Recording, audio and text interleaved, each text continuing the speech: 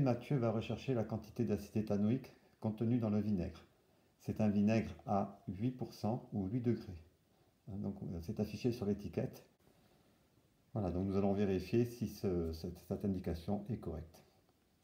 Dans un premier temps, Mathieu va réaliser une dilution. Il va diluer 10 fois la solution. Donc il va prélever 10 ml de cette solution de vinaigre préalablement versée dans un bécher et préparer 100 ml de solution fille. Il effectue ainsi une dilution de 10, hein, puisque 100 divisé par 10, vous avez un coefficient de 10.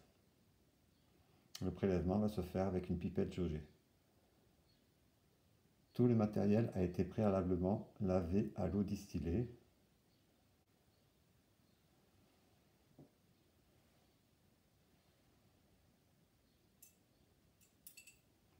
Donc ces 10 ml sont versés dans une fiole jaugée.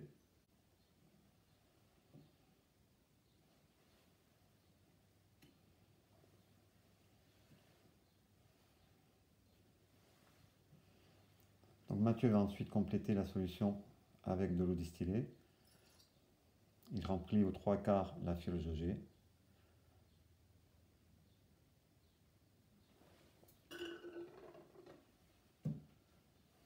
Homogénéise la solution.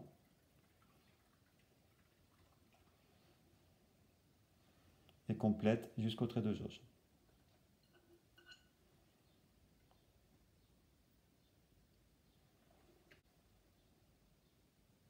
Alors normalement il faut agiter avec un bouchon, hein, mais nous n'avons pas le matériel nécessaire ici. Il s'agit que du vinaigre dilué, donc il n'y a aucun danger. Donc la solution est prête. Donc deux solutions pour déterminer euh, le degré d'acidité. La première solution consiste à faire un dosage par pH métrie. Donc ce dosage a déjà été fait euh, lors du précédent TP. Et nous avons trouvé une équivalence qui était proche de 8,5, d'un pH de 8,5. La seconde solution consiste à utiliser un indicateur coloré. Nous allons donc réaliser un dosage colorimétrique en utilisant l'un des quatre indicateurs colorés que nous avons ici. Donc ces quatre indicateurs colorés sont affichés au tableau. Nous avons l'éliantine l'énantine dont la zone de virage est comprise entre 3,1 et 4,4, la phénolphtaléine dont la zone de virage est comprise entre 8,2 et 10, le rouge de crésol dont le pH de la zone de virage est compris entre 7,2 et 8,8, et enfin le bleu de bromothymol dont la zone de virage est comprise entre 6 et 7,6. Donc tous ces indicateurs colorés sont des indicateurs acido-basiques. Donc qu'est-ce que ça veut dire? Ben, Ça veut dire que la forme acide et la forme basique une couleur différente. Alors on ne peut pas prendre n'importe quel indicateur coloré, hein. il va falloir sélectionner un indicateur coloré dont la zone de virage contient le pH à l'équivalence. Alors pour trouver ce pH à l'équivalence, on n'a pas trop le choix, il faut tracer la courbe pH métrique, et cette courbe a été tracée donc lors du précédent TP. donc voilà la courbe qui a été obtenue par Mathieu. Et nous voyons donc que le pH à l'équivalence est de 8,8 63. Donc à partir de ce pH à l'équivalence, ben, Mathieu va sélectionner euh, un indicateur colorique qui est cohérent. Alors du coup on peut sélectionner le, phénol de phtéléine parce que du coup euh, son équivalence est à 8,63 donc euh, entre 8,2 et 10 donc c'est pas mal. Et ensuite le rouge de crésol parce que pareil il est entre les deux. Voilà, donc nous, on va commencer bah, par, sélectionner la phénophtaline. Hein, éventuellement, après, on pourra faire le rouge de crésol. Donc Mathieu va réaliser ce dosage.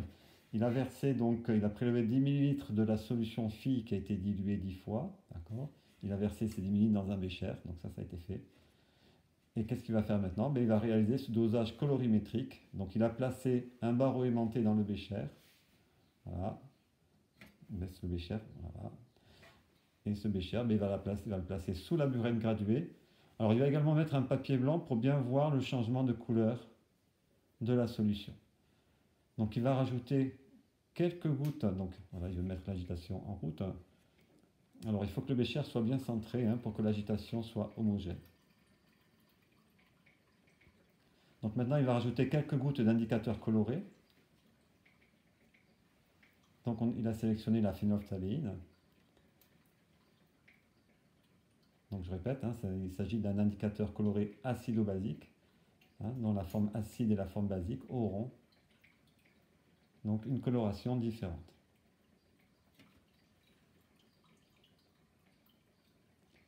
Donc là, la forme acide de cet indicateur coloré est incolore. Donc on va voir ce qui se passe à l'équivalence.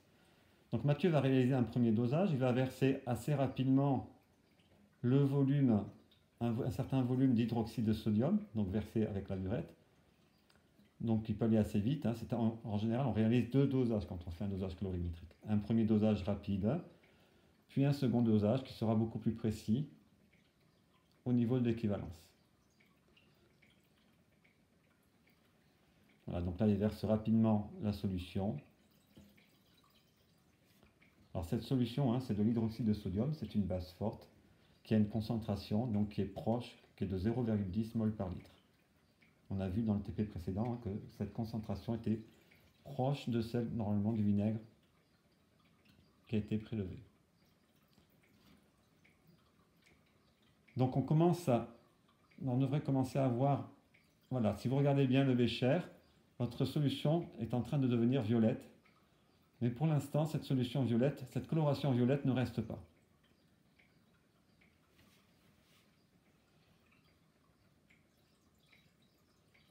Donc elle disparaît au fur et à mesure. hein. Et on va voir ce qui va se passer à l'équivalence.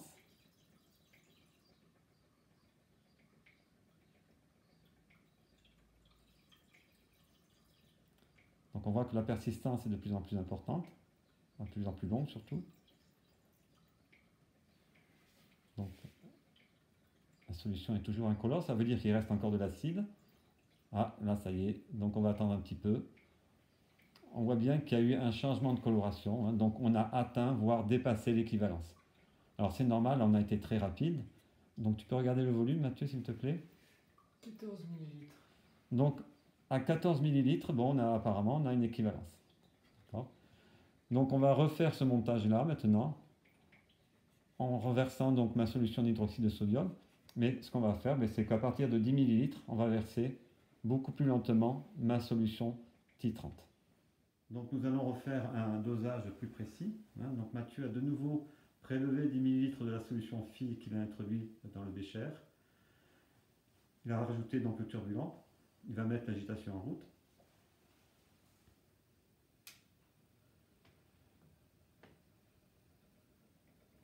Euh, on a rajouté le fameux papier blanc. On peut bien voir le changement de couleur. Donc il va rajouter quelques gouttes de phénolphtaléine.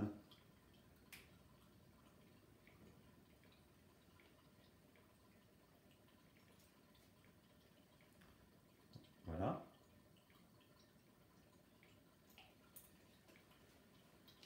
Et donc il va euh, améliorer le dosage de tout à l'heure. Donc dans un premier temps, il va aller assez vite, hein, puisqu'on sait que l'équivalence est, est après 10 millilitres. Ce n'est qu'aux alentours de 10 millilitres qu'il va commencer à ralentir pour améliorer donc ce dosage, la précision de ce dosage.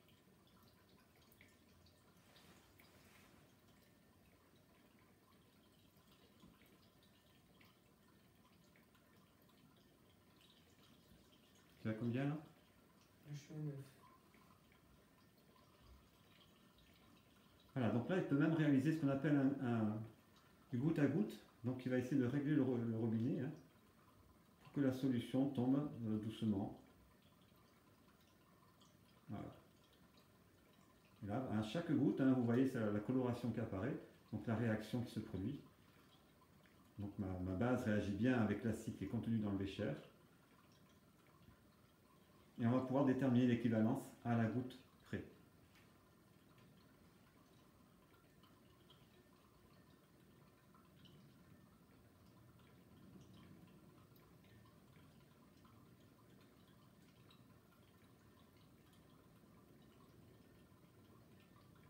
Donc on voit que la persistance se fait de dure de plus en plus longtemps. Tu as combien là? 12,5.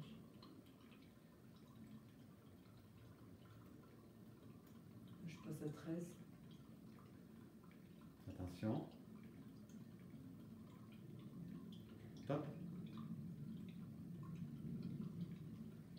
Alors, je suis à 13,4. Bon, mais très bien, 13,4. Par pH métrie, on avait trouvé combien? Je crois qu'on avait trouvé 13,4 également. Euh, donc ça montre que ben, on a un dosage qui est très précis hein, et que peut-être euh, bon, peut-être plus facile à faire qu'avec un pH mètre. Donc le seul inconvénient, c'est qu'il faut connaître, ben, il faut faire des tests. Donc choisir le bon indicateur coloré et puis surtout euh, déterminer euh, l'endroit où on va avoir, euh, on va trouver notre équivalence. Donc merci Mathieu pour ce dosage colorimétrique. Donc là nous avons changé l'indicateur coloré. hein. Mathieu a rajouté quelques gouttes de rouge de crésol. Donc la solution, la forme acide est déjà jaune. hein. Donc on va voir quelle est la couleur de la forme basique.